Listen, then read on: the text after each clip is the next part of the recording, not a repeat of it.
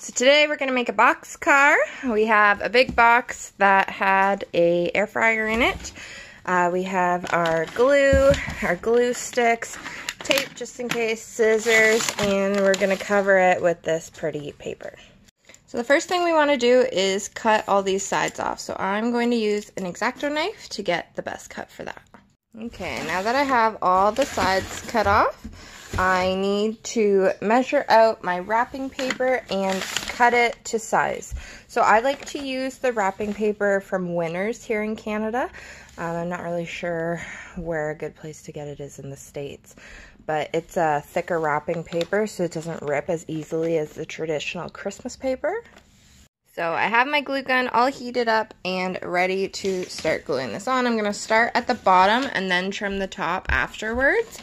Make sure you get an adult to do this because these are very, very hot. Alright, so I have the whole thing covered in the wrapping paper. I'm not going to worry about the inside.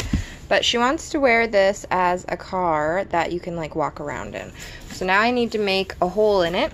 But because of the flaps the way they are, we might have to do some reinforcements with the hot glue as well. Okay, so I used an X-Acto knife again. It's not perfect, but that's okay. To cut out a hole, and then I got her to stand in the middle to make sure there was enough room. So because of these flaps here, I'm just going to reinforce them with some hot glue just to make sure that everything stays together. Okay, so now I'm going to work at the wheels. So I got this paper from the dollar store. It was $4. Um, there's lots of different patterns in it because there's only two of each kind, we're going to have to have different wheels. So I'm going to pick two, then I'm just going to trace them with this bowl.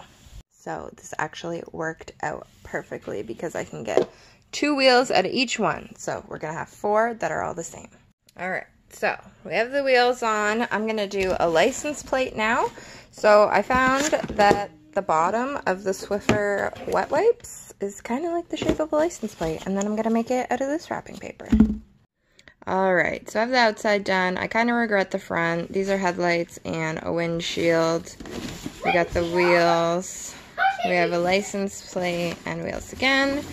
Now I'm going to work on attaching the strings.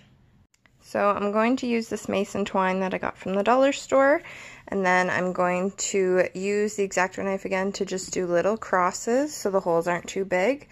Put the strings through and knot them on the inside so then she can wear them over her shoulders. Okay, so I put it through. I knotted it three times and then I'm going to pull it tight once I get it to this point, I'm going to reinforce it with some hot glue just to make sure it doesn't ever move. And then I'm going to get Nat to stand in the middle and measure it so the shoulder length is correct.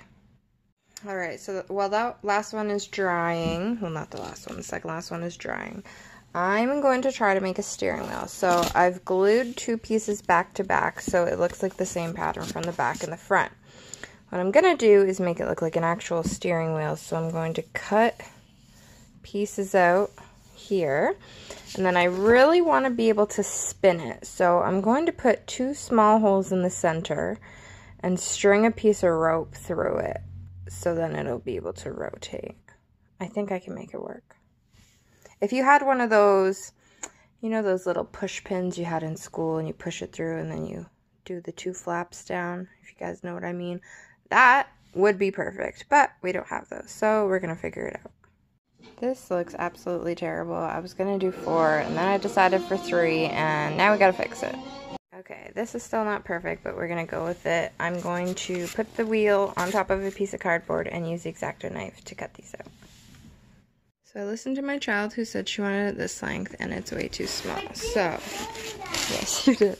So now I'm going to have to cut this glue out a bit and tie another piece to it. Okay, so because I reinforced it so well with the glue before, I didn't want to just tie them together and have this hanging on it because it's way too hard to get off. So I just redid it. These are drying now. I highly, highly, highly suggest doing a long string and then what we're going to do is once she puts it on at the end if it's too long I'll just tie knots up here that will go over her shoulders and that'll be a lot better alright so I put a piece of string through and I made a knot on this side And then I did the same thing on this side. So I put a little knot. So because they're just little knots, then this can spin around freely. All right, what do you think? Do you love it? Yeah. Okay, do a little spin for mom, really slow, okay? Oh. You love it? Okay, turn around again. I want to see your back. So most people do the crisscross straps, so like this end to that corner and this end to that corner. My kid, it's a little bit crazy and I knew she wouldn't be able to get into it. So I just took another small piece, looped it around the strings, and did a little bow in it so it's easy to take off. That way it'll stay in place and it won't fall off her shoulders while she's playing with it. But that's the end. Take another look at me now. Do you love it? Steer. Wow, awesome. You're literally full of marker and cheesies, but that's fine. cool car, hey?